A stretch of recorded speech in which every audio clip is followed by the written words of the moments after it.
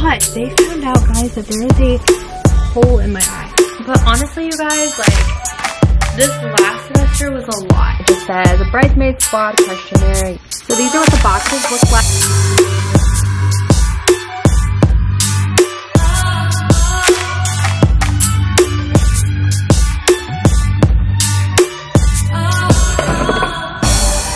Looked away a little shy, couldn't look you in the eye when I noticed you. Way you walked up to me, thinking this can't be true. Oh. Good morning, everyone, and happy Wednesday. I haven't vlogged in a really long time, so I thought today would be a really nice day to vlog. Um, because I'm working from home and there's actually quite a bit of stuff going on today so I thought that would be kind of interesting um, to share and I just feel like I have so much to catch you guys up on. It's been about three weeks since I vlogged. Um, that has a lot to do with Georgetown and grad school and all that kind of stuff and I'll get, I'll get into that later in the vlog. Um, but yeah, now that finals are over for the spring semester, I finally feel like I have a second to myself to talk to you guys on the camera. So anyways, welcome if you're new here. My name is Sarah Jane. I make gosh, personal finance, Georgetown grad school, and wedding planning vlogs. So if that sort of content interests you, then be sure to give this video a thumbs up and subscribe because it really helps support my channel. Right now it is 8.45 and so I'm just gonna read for a couple minutes. I'm currently reading, where's my book? It's over here. So I'm currently reading Follow Me by Kathleen Barber. And uh, this is, gosh, this is written by a DC author, which is kind of cool. She's coming to our book club tomorrow and I just started reading it so I'm trying to get as much read as possible. Um, but it's pretty good so far. I'm only like on page 30, so not too much to report yet. Um, I just finished the Secret Life of Adeline LaRue, or The Invisible Life of Adeline LaRue. That's all over BookTok and that was also like one of our books from book club um, that everyone had really good things to say about. So that was a really good book.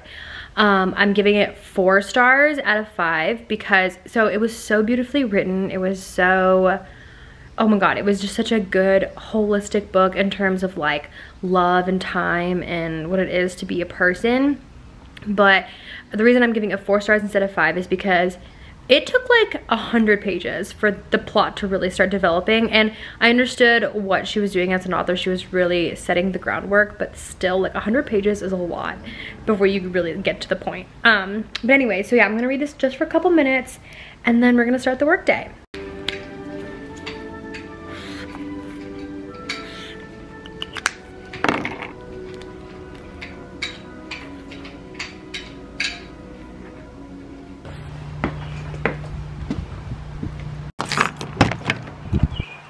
Have to go to a optometrist appointment. I got LASIK, oh my gosh, like years ago. I want to say it was in 2016. And I made a whole video about, I made like multiple videos about it. It actually blew up on um, YouTube. I'm sure you guys have seen it, and if you haven't, I'll link it. But, um, but yeah, I got LASIK. I had a really bad surgery and had to have like a second surgery done because they kind of messed up my eye. So my eyes have been good now for about five years and I think I have astigmatism coming back in one of them. So I am, I haven't done an annual eye exam in forever. So I am gonna go get one done today just because I can tell when I'm like looking that something is off. Um, so let's head to the eye doctor.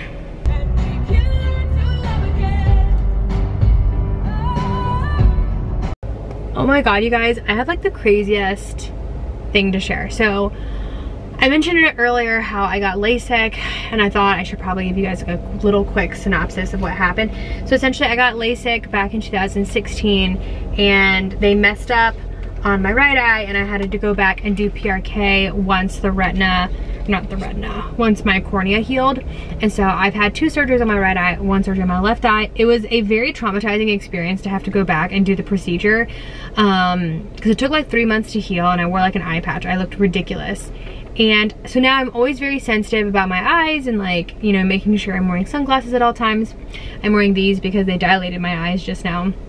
But I did the whole shebang. I got like, I wanted them to look at everything. So I had like four different tests done while I was in there. And um, just because I've noticed a difference in my eyes lately. So when I did LASIK, this eye was 2020 because it went smooth and then this eye was 2030. They couldn't get it to 2020. My eye prescription is still the, the same, but my stigmatism has come back and it's actually come back in both eyes, which is such a bummer and why I can sometimes like be very sensitive to light is because of the light refractions in my eyes because of the stigmatism. Um, so, but they found out guys that there is a hole in my eye. There is a tiny, tiny, tiny little hole in my left eye, which I didn't even know your eyes could get holes, but essentially, um, if you've had if you have bad vision like anatomically your eye is bigger than someone who has good vision. Um, and so I still have big eyes even though my vision is better. And um, behind the retina there's like a small little surface that like keeps your eye in your eyeball. And when you have a bigger eye it can sometimes like tear or like have a hole. And that's essentially what's happened to me because my eye is so big um, so she wants me to go get a second opinion so I'm gonna be scheduling that later in the month but it's just a preventative thing. It's so tiny there's no issues with it right now but like later down the line we want to make sure there's no issues. But isn't that crazy? I was like shocked when she told me. I was like oh my god I didn't even know your eyes could get holes. Anyways I was at the eye doctor way longer than I expected, so I'm about to go back home. But this is why it's really important, guys, to get your annual exams, no matter what it is, whether it's your physical, whether it's your female doctor, whether it's your eyes, always get your eyes checked and we are staying healthy and we are going to be killing it. All right, let's go home. Get some fucking glasses. Message. I can't help but feel like a lot of trust. So I just dropped Trey off at the metro station. He is taking the metro down to Union Station and then he's gonna be taking the train down to see his family. This weekend his nephew is graduating from high school. Uh, so I'm gonna be going down later this week, but um, I wanted to like go into the office tomorrow and stuff. So I'm not joining him until later and I will just drive down. But anyways, things are finally calm at work and stuff. And so I thought I would just take a second to just chit chat and talk to you guys about some of the updates that have been going on in my life and I don't know, bring you back up to speed. First of all, isn't this sweatshirt so cute? It says fiance. My matron of honor got it for me as a gift. Um, so let's first talk about, oh my God, let's start with Georgetown. So if you guys have been following me for a while now, you know that I'm getting my graduate degree from Georgetown in Communications and Public Relations. I've been in the program for exactly a year now. Um, I am 60% of the way done and I was planning on taking summer classes. But honestly, you guys, like, this last semester was a lot. I have not been so stressed in such a long time. Just the mix of wedding planning, working a nine to five, and going to grad school all at the same time was just so stressful. And it, it was also, it also specifically had to do with the classes I was taking because I was taking core classes which statistically require a lot more work than an elective does and I was taking two of those. Um, and you have to at least make a B. So not a B minus, but a B at Georgetown for them to count or you have to take it again and classes are expensive so your girl cannot afford to fail. Literally. Um, so that was kind of like the first thing that's really been like on my mind lately.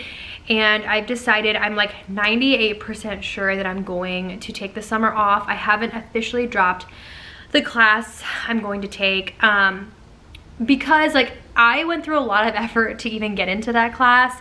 It's from so I'm in like the communications program, but there's also another program for design.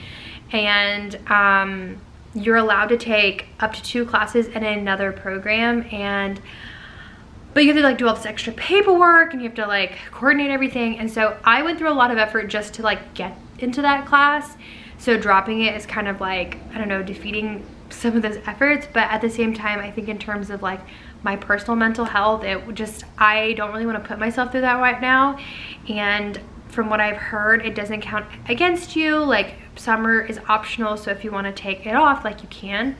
So I am really considering doing it because I which leads me into my next thing, just really want to enjoy like wedding planning. You know, I got engaged in January and school has kind of made the process not as enjoyable as I would like it to be and I want to really enjoy this season of my life. You hopefully only get it once and I, I feel like school's kind of killing that a little bit for me and so I want to enjoy it and yeah, so I'm thinking about taking the summer off and it's just been such a big thing for me and something that I've constantly been thinking about lately and I think the only reason it's been holding me back is because I really want to graduate with like my friends in the program, um, which if I don't take the summer class, I won't graduate with them. I'll graduate the next year. So that's kind of the thing that holds me back, but like I don't think it outweighs the benefits that I would be giving myself, if that makes sense. So that's kind of what's going on with school. And now I wanna like fill you guys in on wedding planning because that's been really exciting.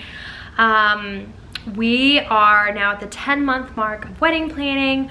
We have our venue, we have a planner, we have the photographer, videographer, and we just booked this past week the a band. So um, we actually had a family connection to a band who um, was gracious enough to give us a discount on their 12 person band. Like, oh my God, you guys, that is such a big band. Um, so we're really excited. We've heard really great things about them and um, we just think, you know, I, we just, we love that there's a family connection there because we love to support. Um, so yeah, um, we're really, really excited about that. A lot of the big vendors are now out of the way, to include the venue, of course, which is the first thing we got. So those big, big vendors are out of the way. The next thing on the list is the florist. So I've been working with my wedding planner uh, with a florist who she's been working with for a long time, working with for a long time. And um, I think it's gonna be good. Um, I haven't signed a contract yet. I did sign a contract with her for the engagement party florals. I've not signed a contract yet with the um, the wedding floral. So we'll see. Um, I really like her work. I just, I think I have a hard time trying to figure out what part I prioritize um, I think I just have bougie taste, you guys. I just like the finer things in life and those tend to cost more money. So um, I'm trying to stay under $6,000 for the florals, which you would think would be plenty for florals, but um, that adds up real quick. Like I am shook. Um, so yeah, so we will, we will see. Um, I haven't signed anything, but I have a vision. Um, I'm thinking like baby's breath, white roses and some white orchids would be really really pretty so that's kind of where we're at right now i'll show you guys my um my my like template that i have i sell this template on etsy uh, but it's been like really helpful in the wedding planning process so i feel like it might be helpful for other okay so this is my template we are now at the 10 month mark so you can see that we have these tasks um, i have one person left on the wedding party that I need to ask before I can check that off. But we have all these things that we need to get done and we are have we have researched these um, items so far and we've booked everything that we needed to book at the 10 month mark. So this is something that I created. I have here the like how many tasks I've completed, which so far is 14.8%. Um, but yeah, it just breaks it down by like month, which I am really, I don't know, I'm like really happy with this, guys. I think it looks great. It keeps me sane. So I will link, oh my God, you guys, there are so many birds outside. They're like fighting. Ah. Anyways, if you guys are interested in that template, I will leave it in the link below. You can get it on Etsy. Like I said, it has kept me incredibly sane. I do have a wedding planner and she is wonderful, but this allows me to like look at something and check myself. So I think those are the main updates for now. As for the rest of the day, I still have like another hour of work left. And then I'm going to go to an Orange Theory class, which I have mentioned in my May reset video that I recently started Orange Theory, and I've been really enjoying it so far. I really, really love the workout and just not having to think about it and knowing that I'm blasting like 500 to 600 calories per workout. It's, it's great, I love it. So I'm gonna do that later, and then I should be getting dinner with a friend tonight. Um, she was not able to come to my bridesmaid's proposal, so I asked her if we could grab dinner so I could give it to her. Um, I haven't heard back from her yet, but hopefully that's gonna happen tonight. Um, and yeah, that's gonna kind of wrap up my day.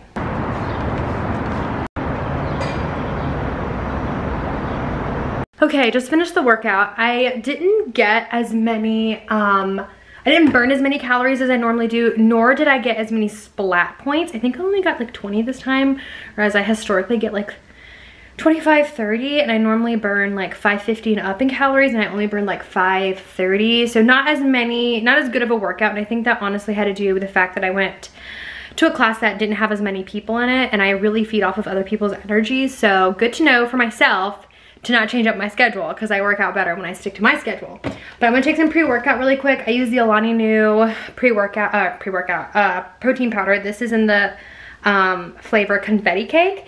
And I'm about to call my, um, my friend is about to call me because she was not able to make it to the bridesmaid's proposal and I shipped her the box and it just arrived and there's a note on there that says call me before you open this. So um, we have a call literally here in two minutes. So I'm really, really excited um, for that. Ew. I'm good. How are you? I'm good. I just, you texted me right as I was walking into an Orange Theory class because I signed up for Orange Theory. Uh, don't you love it? I do, I do. I, the call went really well. She loved everything in the bridesmaids box. I'm going to show you guys what's in those boxes, but probably later tonight because I just took a shower and I need to head over to her. She lives in Arlington, um, which is only like a 15 minute drive, but I still wanna head over because it's almost seven o'clock and um and yeah i have her box i'll show you guys so this is what the outside of the box looks like it's super cute it's white with ribbon and I put their names all on the side and this is my phone for reference of size um, but yes I am not going to open this one because I'm literally going to go give it to her but I will show you guys what's in these boxes later.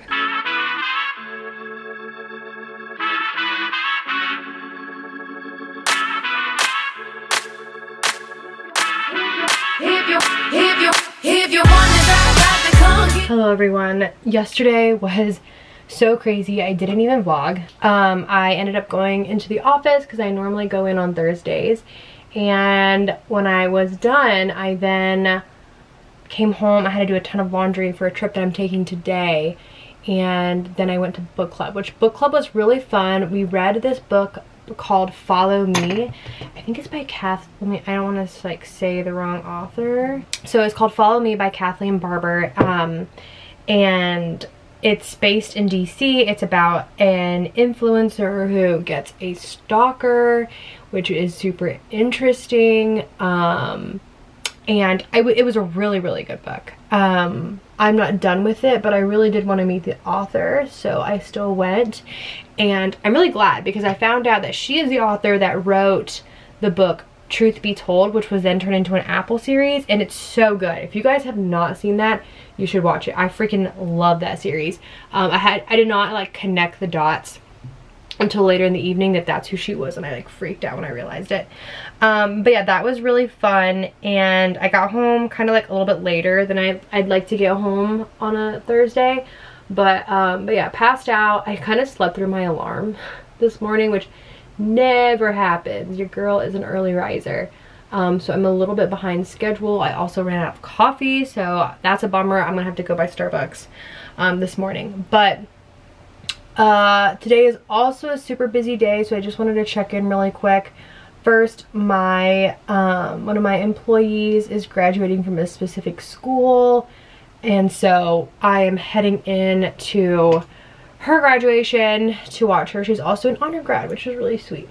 So I'm going in to the, her graduation this morning, and then I am coming back home to work from home. I need to pack because tonight I have a trip um, my my fiance's nephew is graduating from high school so we're going down for his graduation trey's already there i need to go today and travel down um, and so and then i also need to drop off cider before i go because we're not bringing her because there's nowhere for her to really stay so there's just like a ton of moving pieces um so yeah good morning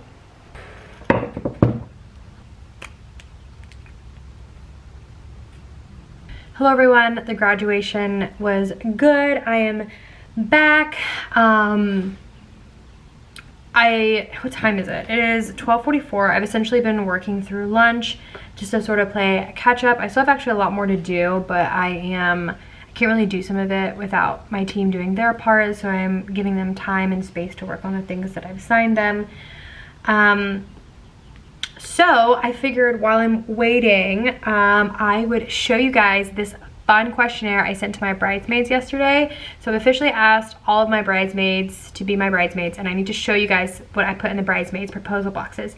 But um, now I have sent them a questionnaire just to get like a temperature check on a couple of things and I thought it'd be really fun to show you guys. So I made this through a Google form and it just says a bridesmaid squad questionnaire, you know, thank you for being part being my bridesmaid. Um, and so I started off with just like tell me who's talking. So their name, um, in case you don't already have it, what is your exact address? Um, because I do have some bridesmaids who are not local, and so I just wanted to make sure I had the right address. Their monogram initials. I don't know if I'll actually end up doing anything with initials, but just in case I want to, I wanted to have that option. And then I wanted to be transparent with bridesmaid dresses. I I know that like being a bridesmaid can be a heavy um, financial commitment and like time commitment and I want to be respectful of that because I feel like in the past that hasn't always been reciprocated um, and so I wanted to just do a temperature check of where they felt comfortable um, spending for a dress. So these were some of the options that I gave. Um, additionally, I feel like I will not be able to pay for everyone's hair and makeup, unfortunately, and so I'm leaving this optional, but I do need to give a quote to um, the hair and makeup artist. I don't know who I'm going to use yet, and the prices vary per artist, so um, I wanted to find out if some people are interested in only hair, only makeup, or both, or neither. Um, so I got that and then ask them what size they would want for their lounge set. I do want to get like a cute getting ready picture together. Um, so I want to go ahead and get that. And then what is something that they've seen at a wedding, bachelor, or bridal shower that they thought was really like unique and fun and different. Um, just to get some brainstorming in. Um, then I asked what songs they would love to boogie to during the wedding, whether that's like when we were getting ready or during the reception. Um, and then I gave some options of when we can possibly go on the bachelorette trip. I wanted to go ahead and get this on the calendar. I know my maid of honor was like already wanting to ask the question, but I decided to throw it in here because every single bridesmaid asked me when is going to be the bachelorette trip as soon as I asked them. So I decided to go ahead and just figure this date out and then I will toss it to my maid of honor for planning.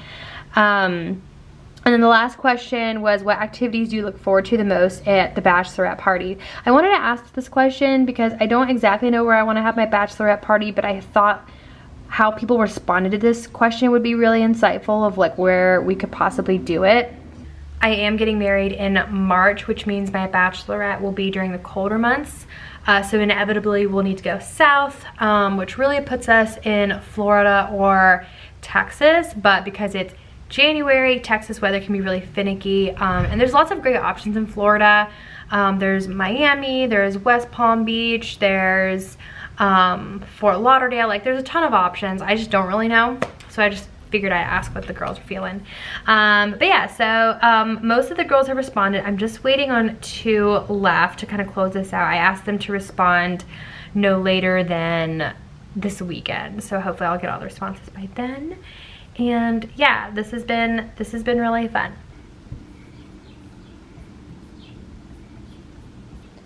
Hello. Hello. So I picked up this bag from Shein and isn't it just absolutely gorgeous with all these little pearls um, really excited to style this. Okay, so we are almost done for the day. I just need a couple more things, like literally two more things before I can be done for the day. So I thought I would take a second and show you what was in my bridesmaids boxes because I've been saying that forever now. So these are what the boxes look like. I got the boxes off Amazon. They're really cute. They have like a little white tie right here. And then I got these made on Etsy with each of their names. So when you open it, this is what it looks like. I have this little thing that I made on Canva. It just says their name and I can't say I do without you, will you be my bridesmaid or matron of honor or maid of honor? Um, and then when you move, and oh, these, I always picked a photo that was like really sentimental to us. So for this and my friend we had hiked up and like had a beer at the top. It was a great time. So I picked that photo. And then here is more fun stuff. I got them each a coffee cup with their initial on it from Anthropologie because these are so cute and I love these. Um, I got them a little lotion. This says Wedding Team Hand Cream and it's a cherry blossom scent. Um, I got them this, which is to have and to hold, and it's just a black satin hair scrunchie because that's what their bridesmaid dresses are going to be is a black satin and this is really fun um, I'm not to undo this one because I have it nice and rolled up but I have an extra that I'm to show you guys. So I made these really fun magazines. I'm so proud of them. I worked on them for a while. Um, but this is what it looks like. This is just an extra copy but every girl got this. So it just says long because that's to be my new last name. It says bridesmaid edition. So long to Lamberth is to be our hashtag because his name is long and my name is Lamberth so I thought that was really cute. And the bottom says, the squad, the venue, the vibe. The squad is the special people that I cannot imagine not having by my side. The venue and then the vibe, which is the modern, elegant with a black classic, uh, black and white palette. So this is also the day that he proposed. So when you open it, um, on this page, I said I truly felt like this day would never come but here we are. I cannot imagine entering this season of life without you by my side, and I'm so excited for this next chapter. Um, and then this are all the bridesmaids. I've covered up their, you know, personal identifiable information, but I did put their names and their phone numbers because at least in my experience being a bridesmaid, all these people would start texting me and I didn't know who was who. So I wanted them to go ahead and have that information. And then it also said if they're like a bridesmaid, maid of honor, matron of honor, like all that's right here. That way they felt like they could, you know, know who's part of the party. This next page is the venue so they know where it's at and what it looks like. It's beautiful.